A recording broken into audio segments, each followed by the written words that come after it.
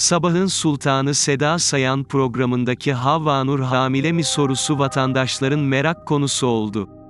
Peki, Havva Nur hamile mi? Seda Sayan Havva Nur hamile mi? İşte detaylar. Star TV'de Sabahın Sultanı Seda Sayan programı her gün ekranlara geliyor.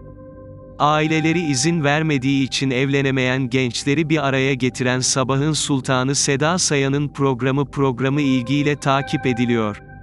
Havva Nur ve Murat çiftin mutlu sona ulaşacak mı merak konusu oldu. Peki, Havva Nur hamile mi? Seda Sayan Havva Nur hamile mi? Detaylar haberimizde. Seda Sayan'ın hafta içi her gün ekrana gelen programında bir kadına şiddet uygulandı. Seda Sayan'ın canlı yayında yaşanan kadına şiddete sessiz kalması ise seyircilerin tepkisini çekti.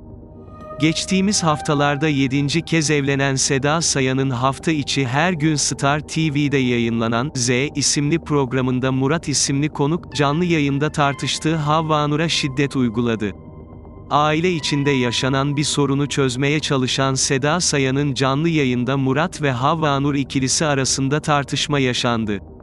Tansiyonun yükseldiği anda Murat, Havva Nur'a canlı yayında tokat attı. Olayın ardından Murat, canlı yayında görünmezken Havva Nur, açıklamalarına devam etti. Canlı yayında tokatlar, küfürler havada uçuştu.